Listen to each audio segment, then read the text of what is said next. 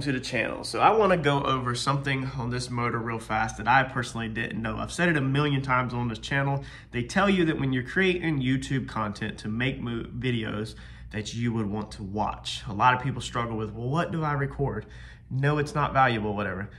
I cost myself thousands of dollars over this because I did not know this.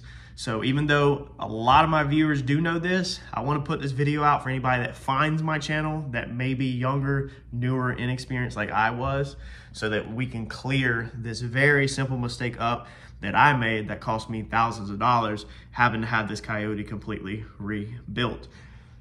Whenever we first had this running on the dyno, I did not know it, but I actually starved this motor for oil pressure, for pretty much oil.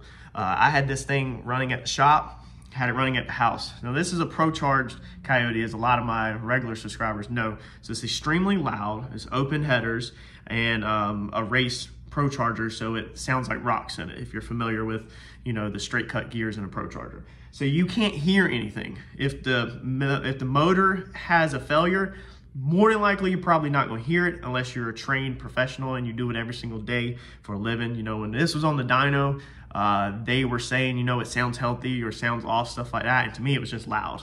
like it was just loud.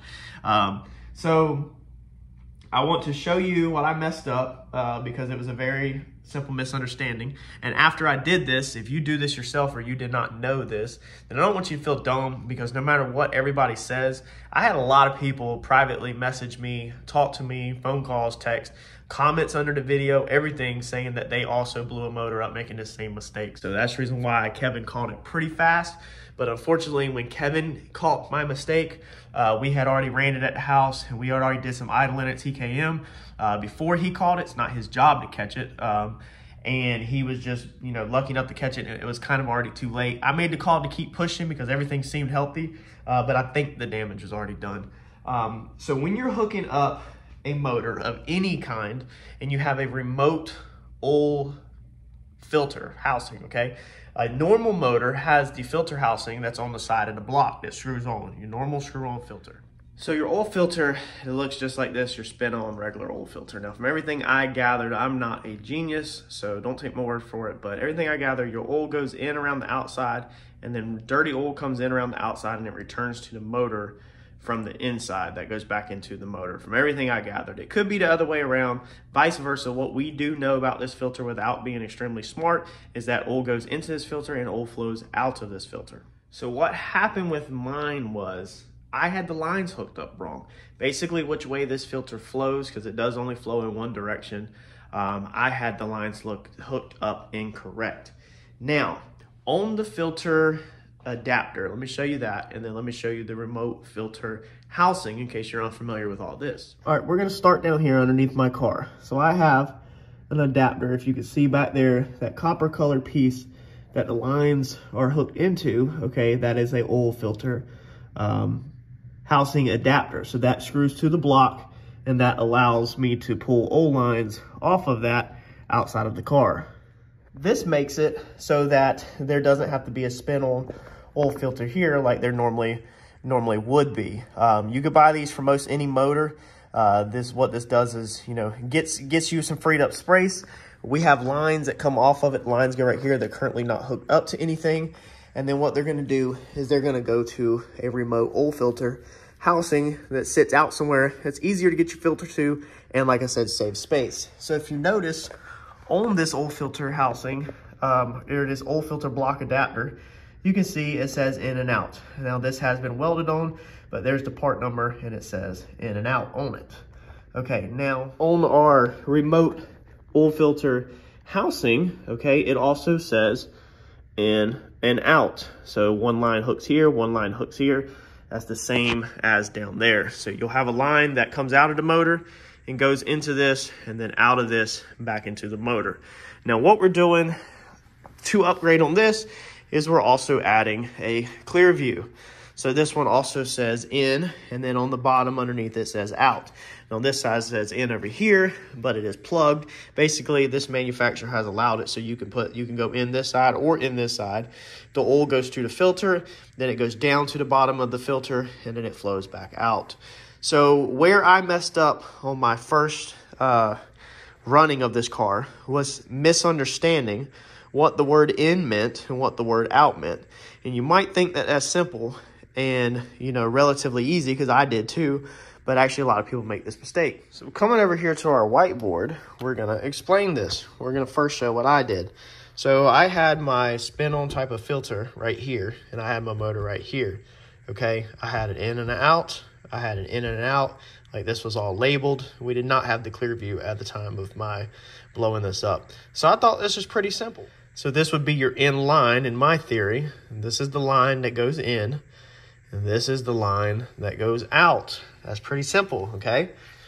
That's exactly how everybody that I have talked to that has messed their motor up like this, this is exactly how they thought also. It was labeled simple. Of course it's right on this. You know, of course the motor, the adapter right here, of course they labeled it which one comes out of the motor and they come in the motor. We know that. But then the person that made the filter adapter, they also went ahead and labeled theirs which one should be the in line off of your motor and which one should be the outline off of your motor. The problem is, is that this is wrong, okay? And that's where I mess up and messed up and didn't understand it. These two companies or these manufacturers across the board, every single one of them, they actually don't work together. Um, they actually don't think about the other one. They don't care about the other one. So this company right here, no matter what company you're using, no matter what motor, said that with our piece, this is the line that comes in the motor and this is the line that goes out of the motor. This company over here said that with our piece, this is your line that will come into the, the filter and this is your line that will come out to the filter. Now you're probably saying, oh, okay. So we're going to flow out of the motor and into the filter. That makes sense, right? And then we're going to go out of the filter and into the motor. That makes perfect sense. But when you don't understand or when you're new to this, and you have never never done this before, it also makes sense to you to say that this flows in the motor and this flows out of the motor and this company over here is just letting me know that hey your in line right here goes to this in line this is your in line this is your outline. Uh, there's plenty of products out in the world nowadays that are labeled like that you know that the companies do sit there and label well this is your you know just like electrical this is your 12 volt so this is red it don't matter if you have a battery over here your battery has red and black and if you have a neon light over here it has red and black so these companies you know said that well this is your hot and this is your negative and you connect red to red black to black that's kind of what i did right here i connected in to in out to out um, that's how my brain works, and that's all you have to you know realize, and that's how other people's works. Um, so what you would do on that one is you would you know out of your motor into your filter, out of your filter into your motor. Now for me, we're going to go Clearview first so that it catches the bearing material. Now my engine builder, which is TKM Performance, shout out TKM Performance, they're absolutely amazing. Um, has told me that if I'm going to run this Clearview for my application, he also wants me to run a spin-on filter. Now they do offer the Clearview filter with this that has the spin-on filter in the bottom of it. But this Clearview filter right here that I bought was 600 new. I got it for 300 used. So that's the reason why I purchased the Clearview that does not have a spin-on filter. I already own this. So we're adding this to the puzzle. So if you were buying, if you didn't have this or this, go ahead and just buy the one with the spin on. So you have everything all in one and all you're dealing with this and you don't have three stops. But for me, this channel is a budget channel. So we buy a bunch of used stuff and a bunch of stuff on deals. And so that's the reason why my setup is like it is. And you may also have picked up some pieces from your buddy and may need to do the same thing. So in my situation now, what we're going to do is we're going to come out of the motor into the Clearview. We're going to come out of the Clearview into the filter and we're going to come out of the filter back into the motor. So we're always going to be going out, in, out, in, out, in. And that's going to be your complete circle. Now, whenever I did this and I was flowing it, uh, the reason why I blew up my motor, let me clarify all this, is you might say, well, you should have had an oil pressure sensor and it should have told you if you had oil pressure. Well, if you're new to the channel, I did. So my filter had Let's draw another box, okay? You know, let's do PS, pressure sensor, okay? So it had an oil pressure, a oil pressure sensor on the um, adapter, and I'll show you where that's located at on this. So adapter. right here, you have a, a end piece that you can put a filter in. This is where I had my oil pressure sensor installed. This is where I was reading my oil pressure at. Now, my Holley, I have a Holley uh, Pro Dash, so it's not like I have some junk. Um, it said oil pressure, so we had really good oil pressure. Basically, from what I'm understanding without complicating this, is that when I had mine hooked up inline in, outline out, okay, is that basically the oil was coming out of my motor and then it was hitting a dead end. You know, I guess if this is the way the filter is supposed to flow, then obviously we are flowing. Let's see here. Uh, we are flowing uh, backwards, okay? So it is basically two arrows are hitting each other together. The sensor's right here. So when this oil comes out, it was smacking the sensor basically hitting the sensor and the sensor's reading you have a ton of oil pressure coming out of the motor. And the motor did was putting out oil pressure. The motor's oil pump was pumping out oil pressure. Problem was is that it was trying to flow into here when this filter or this housing is from what I'm without complicating it from what I have been explained to me is not designed to flow that way. So this sensor is sitting right here and it's reading this activity right here but there's no oil going this way because it's stuck. It, it doesn't flow that way. It doesn't flow good or whatever the situation is. But all I can tell you is I promise you it does not flow that way. So it can't flow, you know, in the wrong direction. All of these pieces are made to flow one way and one way only.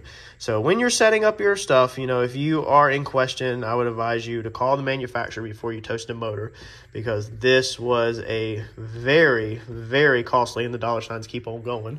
We haven't disclosed on the channel yet what I paid, um, but this is a very costly mistake for me because I have my motor professionally built. I don't do it myself. So hopefully that helps a new guy. Uh, that's what my channel is all about. If you just found it, my channel is about helping others um, and I want to put the videos out that the other guys don't put videos out about.